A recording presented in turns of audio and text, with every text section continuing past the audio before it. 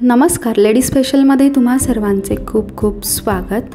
आज आपण रानमाटची भाजी कशी बनवायची ते पाहणार आहोत. चला तर मग आजच्या या रेसिपीला सुरुवात करूयात. तर रानमाटची भाजी बनवण्यासाठी इथे रानमाटची भाजी घेतलेली आहे. तर आता ही भाजी आपल्याला साफ करून घ्यायची आहे. तर त्याच्यासाठी आपल्याला भाजीची जी पानं आणि कोवळी देठ आहेत ते आपल्याला काढून घ्यायची आहेत. अशा पद्धतीने ही भाजी आपल्याला साफ करून घ्यायची आहे. जाडसर देठं अजिबात घ्यायची नाही आहेत. तर को कोवळी असणारी देठं फक्त आपल्याला काढून घ्यायची आहेत आणि अशा पद्धतीने आपल्याला सर्व भाजी साफ करून घ्यायची आहे. तर इथे सर्व भाजी साफ करून घेतली आणि ही दोन ते तीन पाण्याने स्वच्छ धुवून घेतली आहे. तर ही भाजी खायला खूप चविष्ट लागते त्याचबरोबर खूप पौष्टिक अशी आहे. आणि झटपट अशी तयार होते. तर भाजी बनवण्यासाठी इथे एक चमचा जिरे दहा ते बारा लसणाच्या पाकळ्या बारीक चिरून घेतल्यात सहा ते सात मिरच्या चिरून घेतल्यात आणि चवीपुरतं मीठ घेतलं आहे त्या कढईमध्ये दोन चमचे तेल घालून घ्यायचं आहे तेल चांगलं गरम झालं की त्याच्यामध्ये जिरे घालून घ्यायचे. जिरे छान असे फुलले की त्याच्यामध्ये आपल्याला बारीक चिरलेली मिरची घालून घ्यायची आहे. याच्याऐवजी तुम्ही मिरची ठेचून घातलीत किंवा मिक्सरला बारीक करून घातलीत तरीही चालेल. आणि एक दोन मिनिटे छान अशी परतून घेऊया.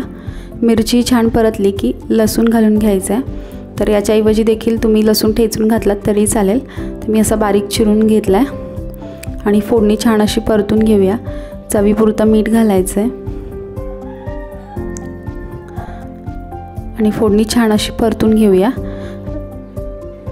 लसूण चांगला गोल्डन ब्राऊन होईपर्यंत आपल्याला ही फोडणी परतून घ्यायची आहे. तर लसूण छान गोल्डन ब्राऊन झालं आहे फोडणी छान परतली. आता याच्यामध्ये आपण स्वच्छ धुवून घेतलेली माठाची भाजी जी आहे ती घालून घ्यायची आहे.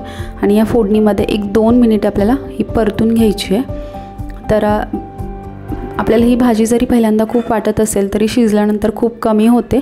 आणि या भाजीला पहिल्यांदा स्वतःचा खारटपणा असतो त्याच्यामुळे मीठ थोडं कमी घालायचं आहे तर आपण इथे सर्व भाजी घालून घेऊया.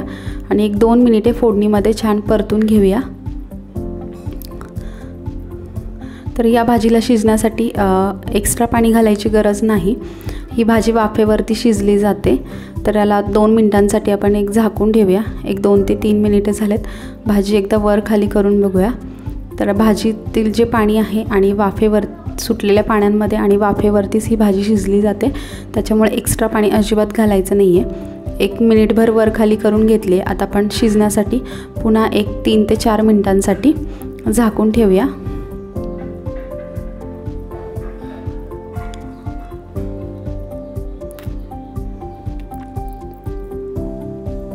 एक तीन ते चार मिनिटे झालेत. आता भाजी आपण उघडून बघूया. तर भाजी शिजत आली आहे थोडंसं पाणी राहिलं आहे आता हे पाणी आपण झाकण न ठेवता असंच भाजी सतत हलवत राहून आपण हे भाजी परतून घेऊया. यातील पाणी आटेपर्यंत. तर ही भाजी खायला खूप चविष्ट लागते.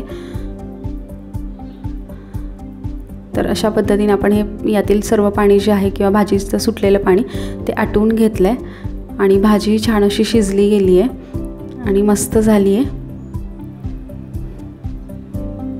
जर तुम्हाला आजची रेसिपी आवडली असेल तर लाईक करा शेअर करा. त्याचबरोबर चॅनलवरती नवीन असाल तर चॅनलला सबस्क्राईब करायला विसरू नका. आणि वेळात वेळ काढून आजचा हा व्हिडिओ पाहिल्याबद्दल मनापासून धन्यवाद. पुन्हा भेटूया अशाच एका छानशा व्हिडिओसोबत